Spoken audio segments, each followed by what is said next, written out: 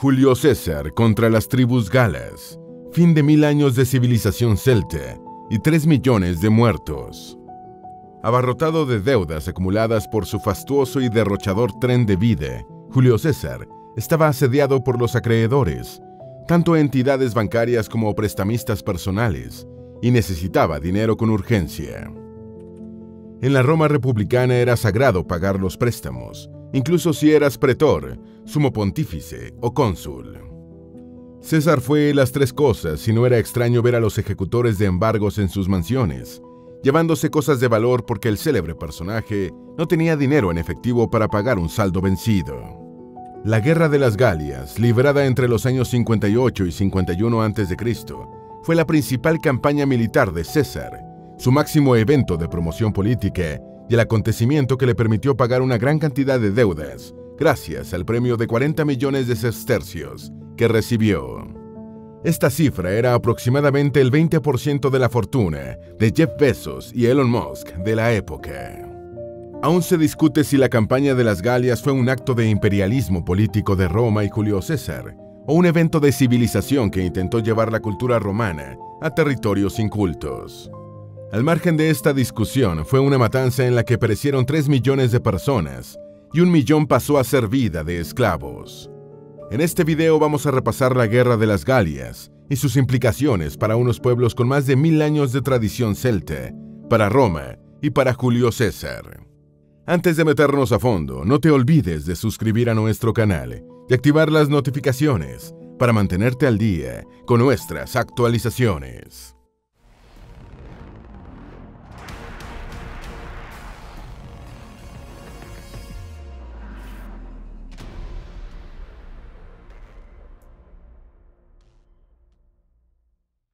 Los negocios del señor Julio César.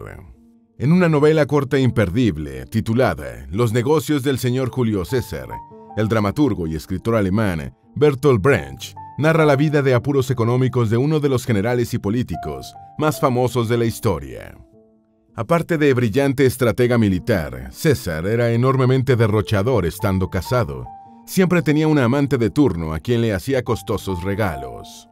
Sus mansiones en Roma y en el campo estaban costosamente acondicionadas y decoradas, con inmensas salas de aposentos que ni siquiera se utilizaban, y pistas de equitación, aunque si hemos de creer a Brecht, tenía un pésimo gusto artístico. La historia es narrada por Rarus, un personaje esclavo y gay, secretario de César en la novela. Rarus se lamenta de que esté a punto de perder a su novio por no poder montarle un pequeño negocio, debido a que ha tenido que prestarle el dinero a César para saldar una deuda. Aunque se trata de un relato de ficción, está basado en hechos reales y una de sus auténticas verdades es que Julio César vivía ahogado en deudas, de las que salía a flote con sus campañas militares. Las guerras hacían ricos legalmente a los generales romanos victoriosos, gracias a su enorme tajada oficial en el botín. También había maneras de acrecentar el patrimonio de manera ilegal, mediante la administración corrupta del presupuesto de guerra y el robo de una parte de los tesoros conquistados. La Guerra de las Galias. Fue la principal campaña guerrera de Julio César, librada entre 58 y 51 a.C. En esta campaña, César sometió a las aguerridas tribus de las Galias, una vasta región de la Europa romana que abarcaba desde el Mediterráneo hasta el Canal de la Mancha y que suele ser asociada con la actual Francia, aunque incluía también Bélgica y partes de Alemania, Holanda, Italia y Suiza. La victoria de César supuso una fuerte expansión de la República Romana y el dinero necesario para que el general triunfante saneara sus finanzas personales. El propio César se encargó de destacar lo bien que lo hizo en la campaña en su libro Comentarios a la Guerra de las Galias, considerada una obra maestra pionera en la autopromoción política. De acuerdo con el historiador romano Plutarco, en la campaña de las Galias, César sometió 300 tribus, conquistó 800 ciudades, y recibió como premio 40 millones de sestercios. Para poner esta cifra en perspectiva, Marco Licinio Craso, posiblemente el hombre más rico de la Roma republicana en tiempos de César, tenía un patrimonio de 200 millones de sestercios, según Plinio el Viejo. Es como si dieran actualmente como premio la quinta parte de la fortuna de Jeff Bezos o de Elon Musk. El engrandecimiento de Roma y los respiros de alivio de los acreedores de César tuvieron un enorme costo humano. Plutarco señala que en la guerra de las Galias hubo 3 millones de muertos y un millón de prisioneros fueron vendidos como esclavos. Los primeros en ser derrotados fueron los ancestros de los suizos. En el año 58 a.C., César tenía 42 años y estaba fuertemente endeudado, a pesar de que acababa de terminar su mandato como cónsul. Los romanos temían a las tribus galas y germánicas que hostilizaban con frecuencia a la República. 45 años antes, Italia había sido invadida por los germanos y los invasores solo pudieron ser derrotados después de unas costosas batallas, con Cayo Mario como comandante. Desde el norte germánico, los suevos habían migrado a territorio galo y la República veía amenazada su existencia, por lo que César recibió el mando de cuatro legiones para encabezar la guerra de las Galias. El pretexto para conseguir el nombramiento del Senado fue la necesidad de asegurar la paz en esa parte de la República, pero todo el mundo sabía que la mayor urgencia de César era recuperar influencia política y resolver sus problemas económicos. Recibió las legiones, séptima, octava, novena y décima, en las que conocía varios de sus comandantes desde que había sido gobernador de Hispania Ulterior, en 61 a.C. Entre estos se encontraban su primo Lucio Julio César, Marco Antonio y Quinto Tulio Cicerón, hermano del conocido senador y tribuno. Las primeras acciones de la campaña tuvieron lugar en Ginebra para someter a los helvecios, que habían migrado hacia territorio de tribus aliadas de Roma. César ordenó la destrucción de un puente que cruzaba el Ródano, dejando a los helvecios aislados de sus tierras. Se inició un proceso de negociaciones para restablecer el paso, al que César dio largas, en espera de que sus tropas fortificaran sus posiciones y construyeran una muralla. Finalmente, el general romano rechazó las peticiones de los helvecios y estos atacaron a varias tribus aliadas de Roma. Los pueblos atacados solicitaron ayuda al ejército romano y César emboscó a los helvecios con tres legiones y los derrotó en la batalla del Arar, ocasionándoles fuertes pérdidas. Los helvecios se reagruparon y volvieron a atacar, siendo aplastados en la batalla de Bibracte, librada el 29 de junio de 58 a.C. Tras esta derrota definitiva, la aguerrida tribu que da su nombre a la Confederación Helvética se rindió y los sobrevivientes recibieron la orden de volver a sus tierras y vivir en paz. Un censo de la época muestra que de 368.000 helvecios, solo 110.000 pudieron retornar a sus hogares. La luna ayuda a César. En la época de la Guerra de las Galias, ese territorio era un complejo mundo de centenares de tribus que se dividían entre aliadas, adversarias y neutrales respecto a Roma. Estas lealtades, además, cambiaban con el tiempo, y los aliados de hoy podían ser los enemigos de mañana y viceversa. Tras la victoria sobre los helvecios, varios jefes nativos acudieron a presentar sus respetos y parabienes al romano victorioso, e invitaron a César a un consejo de tribus galas. En esta reunión, algunos delegados se quejaron de que los arvernos y los ecuanos estaban contratando mercenarios suevos, un pueblo germánico, para sus luchas contra sus adversarios eduos. El jefe de los mercenarios suevos era Ariovisto y César logró reunirse con él para intentar persuadirlo de que volviera a cruzar el Rin, la tradicional frontera natural entre el Imperio Romano y las tierras germánicas. Ariovisto acudió a la entrevista sin intención de negociar, ya que al mismo tiempo sus tropas atacaron al ejército romano. César prefirió retirar sus fuerzas, ya que no quería iniciar una guerra contra los germánicos. Días después, César se preguntaba por qué Ariovisto no atacaba su campamento y fue informado de que el guerrero suevo estaba esperando la llegada de la luna llena para volver a la lucha, no para tener el terreno mejor iluminado, sino por creencias religiosas. César decidió aprovechar la ventaja psicológica que le daba su rival que atacó el campamento germánico, propinándole a los suevos una decisiva derrota. Tras este fracaso, los suevos desistieron de sus ataques en las Galias, manteniéndose a buen resguardo al otro lado del Rin. César cruza el Rin hacia Germania. En el 57 a.C., el comandante romano centró su atención en las tribus hostiles de la Galia belga, una provincia romana que ocupaba la actual Bélgica y territorios de Holanda, Alemania, Francia y Luxemburgo. La tribu de los belgas había atacado a otra aliada de Roma, y el mismo ejército romano fue sorprendido en su campamento a orillas del río Sambre.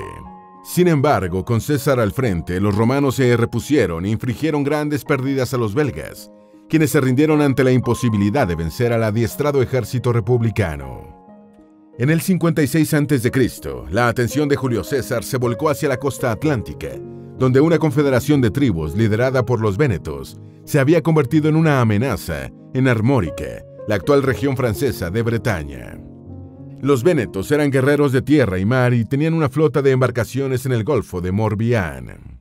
Esto obligó a César a construir galeras para realizar una campaña poco habitual por mar y tierra. Las fuerzas romanas vencieron a sus adversarios en la batalla del Golfo de Morbihan y luego saquearon los territorios de los Vénetos y sus aliados. Entre 56 y 55 a.C., las tribus germánicas de los Usípetes y los Tecneros cruzaron el Rin hacia el territorio del Imperio Romano con un ejército de 400.000 nativos, según escribió el mismo César, aunque se cree que al menos duplicó la cifra real por motivos propagandísticos. Los germanos se instalaron a orillas del Mose y atacaron un campamento republicano con su caballería, matando a 6.000 romanos. César simuló entablar negociaciones y atacó sorpresivamente el campamento enemigo, matando o capturando a 100.000 germanos, mientras que los sobrevivientes se apresuraban a cruzar el Rin. Entonces fue César el que decidió cruzar el río de sur a norte con 40.000 hombres para realizar una campaña de represalias contra los germanos en su propio territorio. Para la operación, el ejército romano tuvo que construir un puente y sus adversarios, al ver la magnitud de la fuerza que se les venía encima, emprendieron la huida hacia el norte. César llega a Britania. A continuación, César cruzó el Canal de la Mancha con dos legiones para someter a los britanos. Esta operación casi terminó en desastre, debido a que el mal clima en el canal destruyó parte de la flota romana. A pesar de la calamidad marítima, los romanos lograron desembarcar y derrotaron a los britanos en dos batallas. Sin embargo, como no había podido llevar su caballería y ante la cercanía del invierno, César prefirió regresar a Europa continental para reorganizarse y planear una nueva expedición. Retornó el siguiente año con un ejército mayor y venció a los Catubellaunus, una poderosa tribu celta belga del sur de Britania, a la que obligó a pagar tributo. Los efectos de estas operaciones de los años 55 y 54 a.C. no duraron mucho, pero fueron una formidable herramienta de promoción política para César. El pueblo romano empezaba a decir que alguien capaz de vencer a los remotos y extraños britanos y a los aguerridos galos y germanos merecía el reconocimiento como el mejor general de la historia de Roma, incluso por encima de Pompeyo el Grande, el militar más famoso en ese momento. Al final, esta comparación se volvería en contra de ambos, y dos de los más brillantes generales de la historia se enfrentarían en la batalla de Farsalia durante la Guerra Civil Romana, con triunfo de César sobre Pompeyo, quien huyó a Egipto, donde murió asesinado. Las expediciones de los años 55 y 54 a.C. generaron también un gran debate entre la clase política romana. Los adversarios de César las presentaron como un enorme derroche de recursos, dirigido solo a un engrandecimiento político y al crecimiento de su riqueza personal. Este debate ha trascendido la época en que se produjeron los hechos, y aún se discute si solo fue un plan imperialista de César o un acto en beneficio de los pueblos involucrados, a los que llegó el águila civilizatoria romana. Nace un héroe francés, Vercingetorix. Sin embargo, la paz en las Galias solo era una ilusión romana y en el invierno entre los años 54 y 53 a.C. se levantaron los Eburones, un pueblo belga germánico que vivía entre el Rin y el Mosa.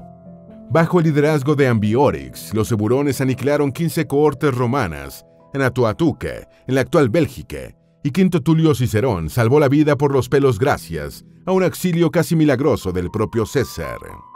La venganza romana fue terminante y los eburones quedaron prácticamente exterminados. En 52 a.C. llegó el primer plano un poderoso enemigo de Roma, Vercingetorix, un jefe galo que logró unir a todas las tribus de las Galias contra los invasores romanos, a excepción de los Eduos, que se mantuvieron leales a la República. La estrategia de Vercingetorix fue quemar las localidades galas que no podía defender y destruir los puentes sobre los ríos, para dificultar la movilidad del ejército romano y privarlo de la mayor cantidad posible de suministros. Aparte de su talento como militar, el jefe galo exhibió una gran habilidad diplomática para mantener la alianza entre gran cantidad de tribus con intereses contrapuestos. La estrategia de Vercingetorix comenzó a dar muestras de ser exitosa Los romanos padecían por la escasez de suministros y los eduos, principales aliados de Roma, parecían dispuestos a revisar su lealtad. La gran fortaleza de Vercingetorix era su mayor cantidad de tropas, pero César logró vencerlo gracias a la superioridad de su armamento y su organización militar. El jefe galo, en cambio, se vio afectado porque dirigió una confederación de tribus que no tenían experiencia combatiendo coordinadamente. Vercingetorix intentó hacerse fuerte en la ciudad de Alesia, donde fue sitiado y vencido por el ejército romano. Aceptó su derrota y pidió una entrevista con César para ofrecerse a cambio de que le perdonaran la vida a más de 50.000 sitiados. César simuló liberar a los sitiados, que salieron desarmados de la ciudad para ser capturados por los romanos. Las restantes tribus galas resistieron hasta el año 51 a.C., cuando el jefe galo Lucterio, caudillo de los cadurcos, fue derrotado en Uxeloduno, cerca del río Dordoña, última acción importante de la Guerra de las Galias. Las versiones sobre el final de Vercingetorix son especulativas, una señal a que César lo llevó como prisionero a Roma para exhibirlo en su desfile triunfal después de la victoriosa campaña en las Galias. Se afirma que el jefe galo murió estrangulado en la cárcel Mamertina. Curiosamente, Vercingetorix fue casi totalmente ignorado por los franceses durante 1900 años. En 1865, Napoleón III ordenó erigirle una estatua de 7 metros de altura en el supuesto lugar del sitio de Alesia, en Borgoña. El guerrero fue uno de los principales héroes tutelares de la Tercera República Francesa entre 1870 y 1940, que destacó su papel de resistente al invasor y símbolo del carácter francés. Estas posiciones se moderaron después de la Segunda Guerra Mundial, tras la amarga experiencia del gobierno francés colaboracionista del invasor nazi. Divide y vencerás. El triunfo de César en la Guerra de las Galias se debió a su innegable talento militar, su astucia política y al profesionalismo de su ejército. Esta campaña ha sido uno de los máximos exponentes históricos del principio, divide y vencerás, en el campo militar. César explotó hábilmente a su favor las divisiones e intereses encontrados de la multitud de tribus de las Galias, para lo cual desarrolló un trabajo de inteligencia objeto de conocer las fortalezas y debilidades de cada jefe galo importante. Además, se daba el hecho de que muchos soldados romanos eran galos, por lo que no se trataba estrictamente de una guerra entre Roma y los pueblos de las Galias. Con tantas consideraciones transversales, venció el más astuto, que era César. Los guerreros galos eran fieros combatientes y más numerosos, pero con menos destrezas militares.